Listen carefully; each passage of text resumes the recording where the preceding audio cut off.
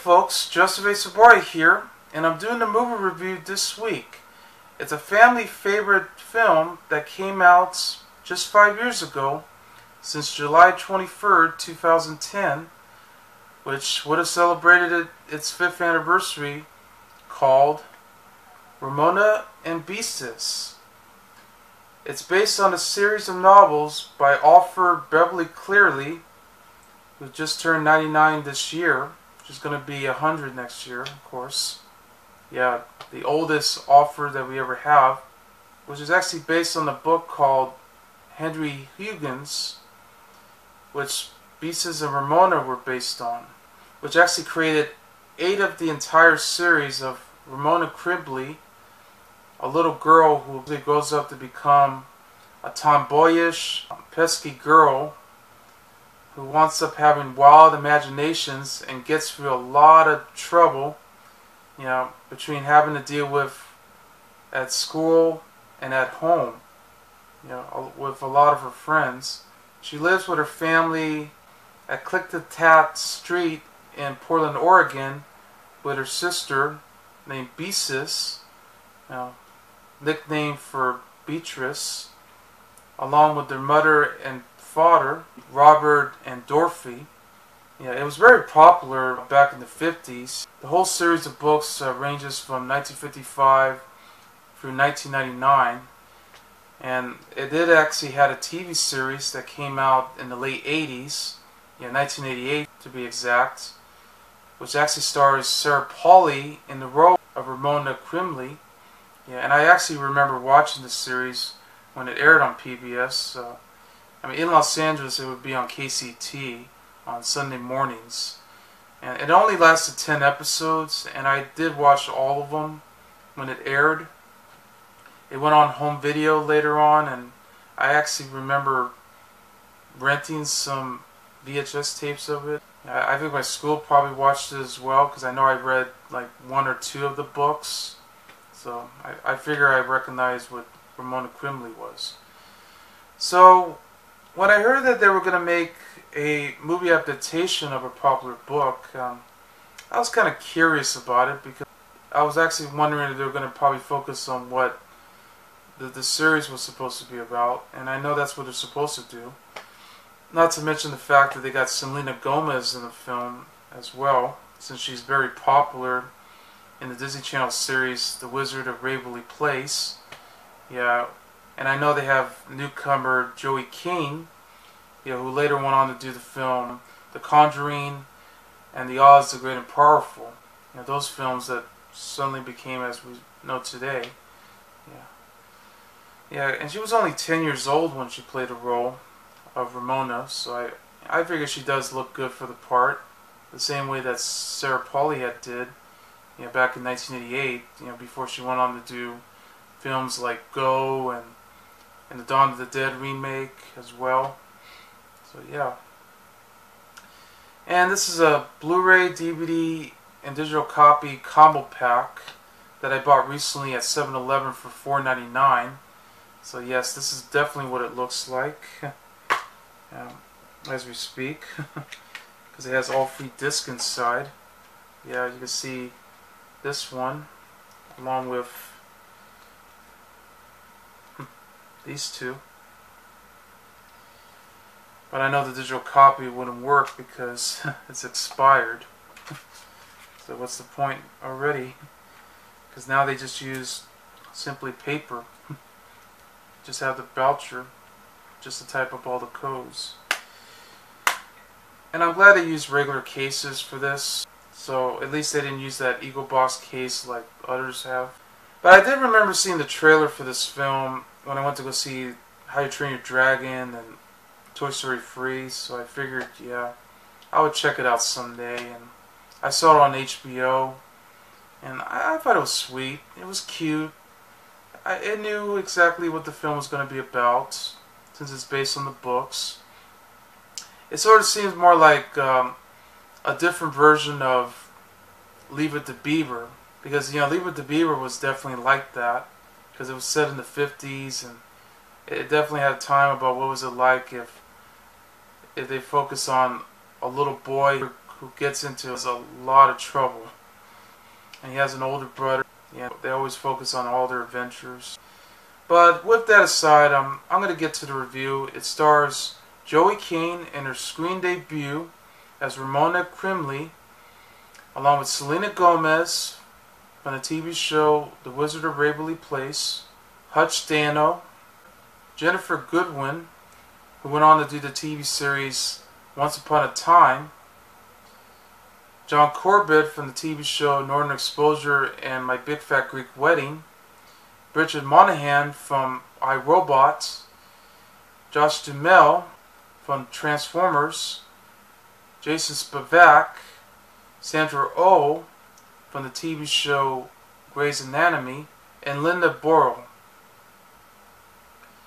It's written by Laurie Craig, who wrote the film Ella Enchanted with Anne Hathaway, along with Nick Pustay, and it's directed by Elizabeth Allen, who did the film Aquamarine. The movie begins when a young, spunky, and creative nine-year-old girl named Ramona Quimby, who's played by Joey King, who goes on many adventures using her imagination and wants up becoming a troublemaker. She goes to school with her best friend and neighbor named Howie, who's played by Jason Spevack, and lives with her Quimby family in Klickitat Street in Portland, Oregon. She has an older 15 year old sister named Beatrice, who's played by Selena Gomez, whose nickname is simply Beezus, which Ramona started calling her since she was a baby.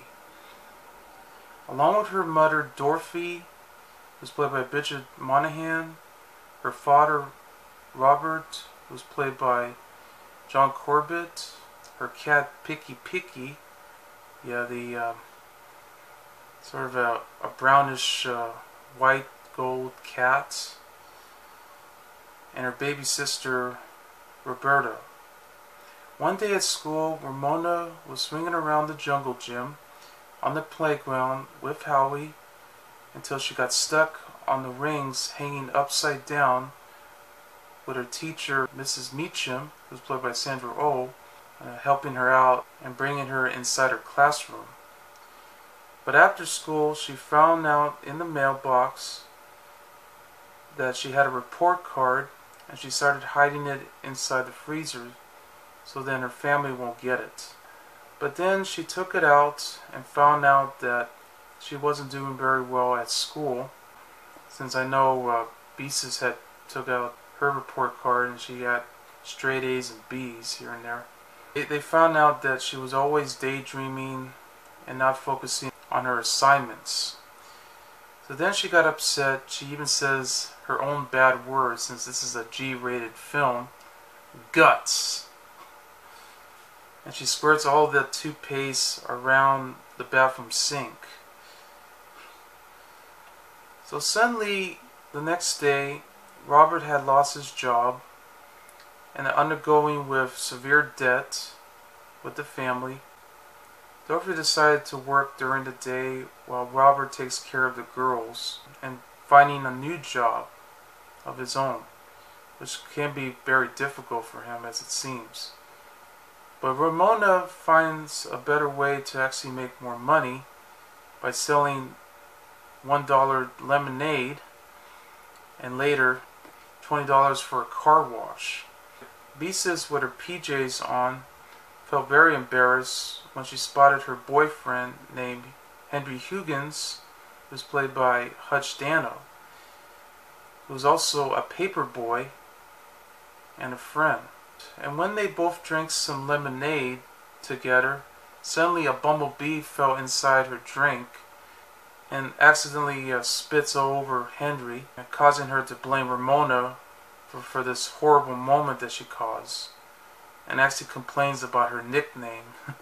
yeah, which leads to that scene where she says in her bedroom, who, who actually names uh, someone named Beezus? And she says, Jesus? but meanwhile, Aunt Bea, who's played by Ginnifer Goodwin, came back to visit the family and talks about her experience as a child and trusts Ramona for all of her entire eccentricities. Also, while Ramona still in the money making business, Howie's uncle Hobart, who's played by Josh Duhamel, had offered her $100 to wash his entire car as a deal to have Bea, who has a crush on since they were young, to stay in the car, making conversations and listening to their favorite song, Eternal Flame by the Bangles, until suddenly the gear that held the car had broke off and the car went backwards into the garage, all covered with colored paint that fell from these paint buckets onto the shelf of the garage. Things didn't seem to work out for Ramona as it seems that her entire time had soon becomes a complete disaster. Um, especially when she had a school portrait that was totally ruined after she cracked a raw egg in her hair you know, during lunchtime as she was demonstrating from her father, you know, Robert, and made the, a disgusting reaction when the photographer asked her to say peas instead of cheese.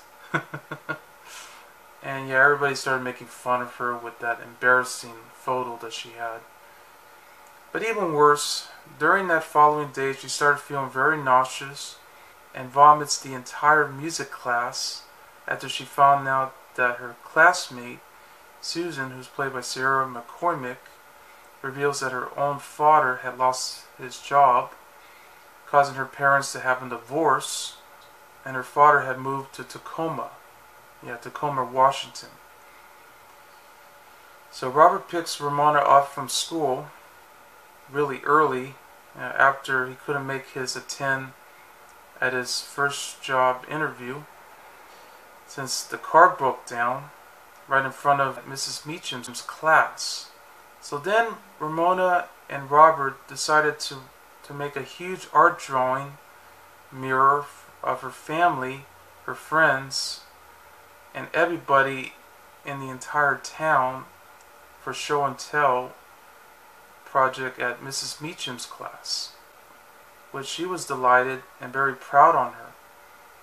But the sad part was, which I know this really chokes me up after what happened, was when Ramona and Beezus were preparing for dinner while the family were away. The pan suddenly got caught on fire, and the girls was trying to put it out, you know, with Ramona using a broom, which I know that caught on fire too. And then Beezus was using the fire extinguisher, and while she was on the phone with Henry, causes them to argue with each other and already feeling upset that she orders Ramona to feed, feed her cat Picky Picky until sadly she was devastated to find out that the cat dies in the basement. Yes, and that was a scene that really did choke me up completely because I actually did lost a cat uh, before. Yeah, I, I, had two cats. Yeah, one was Jackie which I had since uh, my childhood days. And then I had another cat, you know, when I was a teenager, named Alex. Yeah, well, she was a black and white cat. Yeah, with some brown fur in the mix. I had her for two years when she was a kitten, and and then she's, I mean, she suffered a disease, and and she passed away. It, it was really sad. Also, my sister did have another cat too, named Angelica, that we also lost. So, so make that free cats instead. yeah, it sucks to lose an animal these days. So back to the film. The girls themselves had decided to have a private funeral for Picky Picky, and during that night, they broke the news that Robert has now found a new job only one problem was they are planning on selling the house. Yeah. So then, preparing for the open house, the Quimbys were gardening the whole place, and Ramona reluctantly helps using the water hose and actually hit Hobart as he threw a bucket of water at Bea, and suddenly becomes a big water fight with the neighbors and then it floods the entire neighborhood backyard where Hobart finds a shoebox that was buried inside years ago filled with lots of memories yeah such as pictures and all this other stuff that's inside that he had during his relationship with Bea when they were teenagers so finally he proposed to her to be married right in front of the entire crowd and she accepts yeah, because he he bought in the ring and and puts it on her finger and yeah, and she was happy and sad at the same time. And the family themselves decided to have a wedding for Hobart and Bea. But when Bea broke Ramona's promise on not to get reeled in, she became very furious that she ran inside the house all the way into the attic during open house until the beam on the ground, not supporting her weight, uh, broke down, leaving Ramona's legs dangling from the roof. Once it was cleared out, Robert got really mad at Ramona for all the mature attitude she's been caught on, and then she ran away from home with Dorothy helping her pack up all of her stuff in her father's suitcase and wanders off in the bus stop just as soon as she opens the suitcase and found lots of heavy stuff including his bowling ball. She found a book that has Robert drawing lots of doodles of Ramona and her mischievous ways. After that she heard her mother's voice that came from the baby's walkie-talkie and the family had soon found her and was happily reunited together. So finally, at Bea's and Hobart's wedding, Ramona had saved the day when she finds the wedding ring after Howie drops it. And during the reception, Ramona's music class had arrived for the dance. Beezus and Henry had shared a kiss and danced together. Robert had thanked Ramona for everything, especially uh, for her teacher, Mrs. Meacham, to honor him as, as the school's new art teacher yeah, after the school project that they did together. And Ramona is very delighted with all the good news as the family would not have to move at all. So that's good. So before Bea and Hobart decided to leave for their honeymoon at, in Alaska, Ramona actually gave her a locket that's with her school picture and Bea tells Ramona that she's extraordinary. And then the movie ends when the family went back inside the house. yeah, which leads to the end credits with them just dancing around to all the music that they had. It was very sweet. I really enjoyed it. Um, it's definitely the perfect family film that's based on the Ramona series of books that we had. Because I did grow up on it a little bit. I, I mean, I always remember watching the TV series on PBS because I knew exactly what the story was going to be about. It had a beautiful location that was actually shot in Vancouver, British Columbia, which is in Canada. Yeah, kind of like the, the TV series was because it was shot over there. Perfect setting for Portland, Oregon because I kind of remember what Portland, Oregon looked like, even though it looks very different. You know, with the shots of, of a beautiful streets, beautiful town, you know, a beautiful home, and and even the elementary school that they had, and of course high school. A lot, a lot of good settings right there. I also like the fact that they actually use um, animatics, as the director actually called it, where they actually use all the animation that's put inside uh, Ramona's imagination. Yeah, especially the scene where where she was actually, you know, on the jungle gym, you know, swinging on these rings, and then suddenly it, it transforms into a huge uh, cliff uh, filled with uh, mountains and, and waterfalls, like she was going to ready to fall inside, know, like like it was a bridge. And, and then they even had a lot of scenes where, yeah, where Ramona and Howie were just uh, jumping around that huge hole that the construction workers had put out, you know, just to fix the back door of, of the house. So they just fly around and landed into the mud. And and you can even see uh, Ramona just flying around on the entire town of Portland, Oregon, like using a parachute. I thought that was cool. Not to mention the scene where, where she was in her bedroom.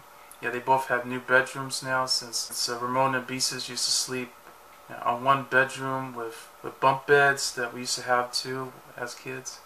Yeah, they both have bedrooms now as they were growing up and and she was like floating around in in outer space in a dream. I thought that was cool that they did all these creations and, and another scene where when they announced the bad news that they were going to sell the house, you can see uh, Ramona feeling very worried as she imagined that that the entire house was being picked up and dumping it into the street. Yeah.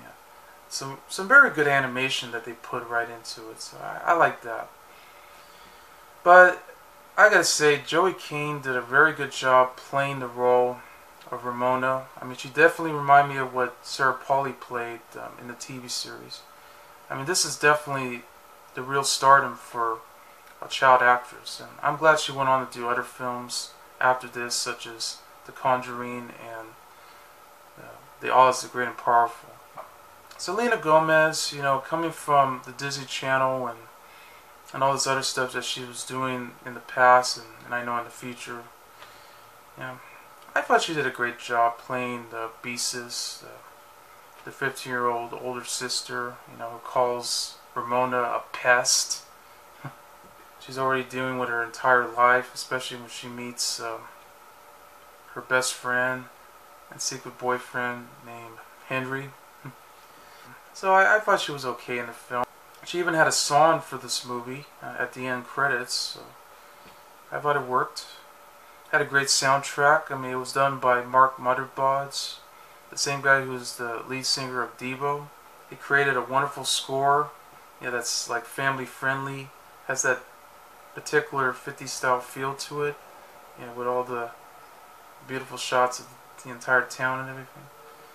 Um, beautiful soundtrack um, all the way around by other artists, including Taylor Swift. Yeah. Um, the entire cast, including the John Corbett and Bridget Moynahan, as well as Sandra Oh, you know, Ginnifer Goodwin and Josh Duhamel. They were all excellent. Definitely the perfect casting for this movie. Because they, they knew exactly what they were going for. You know, they had to struggle, all the debt that they've been going through, and they're trying to find a new job to help the whole entire family, you know, not having to deal with everything. Yeah, it kind of shows about what it was going to be like if if things are not going so well. You know, despite the fact that Ramona is just doing her mischievous ways that she that she always loves to do, you know, especially at school and at home and everywhere she goes. My favorite moment though was when uh, when she was signing up for a peanut butter contest because she was chosen to be to be entering a contest where she becomes the next girl in the peanut butter commercial. Where suddenly uh, she winds up creating her own tiara since she didn't have one, and and she was doing all of her dance moves, swinging around until suddenly she accidentally fell inside a giant peanut butter sandwich, which messes up her hair. Yeah, which I know Robert had to cut it all up. that was a great moment. But with that aside, uh, it's a very good film. Definitely recommend it uh, for all families out there. You know, it, it's for everybody. You know, I'm, I'm glad to see that this movie was G-rated because that's exactly what the film should be. Instead of being, you know, you know, PG, it was definitely crystal clear. You know, very clean and and it works for all families of all ages, especially for those who grew up with the books. And Beverly Cleary, who's who's now 99 years old, is is very proud after all this time since she couldn't get the movie rights. Since her last book was um, back in 1999, so she only had like eight stories all set up. But nevertheless, she definitely remembers everything that she did. Since Klickitat Street, she remembers uh, during her childhood. And it was cool. So, yeah, um, definitely check this movie out. It's definitely worth watching. I, I really did enjoy it. I, I, liked it. So anyway, I give Ramona and Beezus four stars. I'm Joseph A. Sobora, and I'll see you later. Bye.